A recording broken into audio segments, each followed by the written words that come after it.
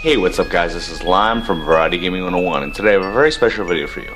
So today I wanted to bring you a quick tutorial on how to have multiple, well basically multiple users running on one computer with a special program with, that isn't like VMware in the way that you only need one operating system so you can leave it on your default operating system, Windows, whatever version of Windows you're on, and you will not need to install another one on a separate hard drive or in the VM the virtual machine to have multiple users at once where you can actually play Steam at the same time and play multiplayer if you have a good enough rig to run it.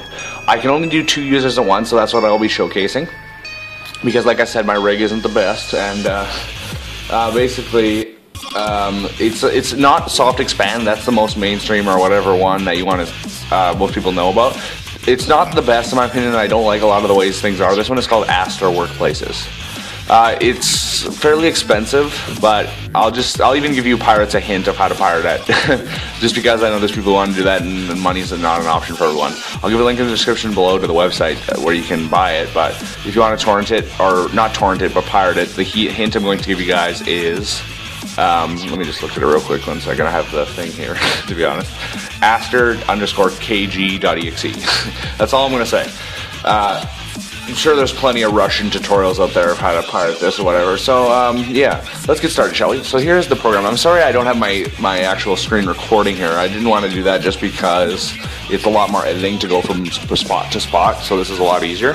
I don't know if you guys can see, I'm going to try to focus the camera. It's really bright. But anyway, this place, I don't know how I can focus that. I zoom right in here, sorry about that, the bad view. I got the tripod in the way here. Um, so basically, this is I'm going to give you a, bad, a really bad view of it. It's called Aster Workplaces V7. So if I, if sorry you guys can't see it, like I said, but if you press Run Aster Workplaces, which I've already got it set up, uh, it actually assigns different IPs, local IPs for uh, each user, so you can run multiple Steams, run multiple things, games that only have one per computer normally.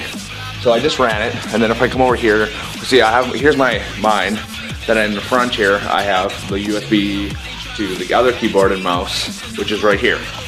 So right here, um, I will, see here's my, my main one right here, then if I go to the alt account, can log on, and then here it is.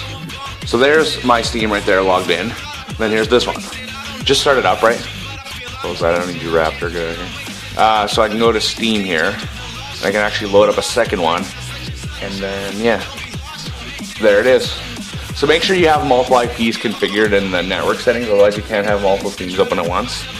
So yeah, and then I can launch games and we can both play. So as long as your gaming PC is powerful enough and you don't have a second one, this is a great way to um, to be able to play multiplayer with your friends or come over or family without having to buy a second gaming rig for a PC that is.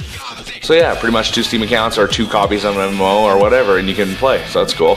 So uh, yeah, I guess that's pretty much it, guys. Uh, yeah, see, there's this. Here's this.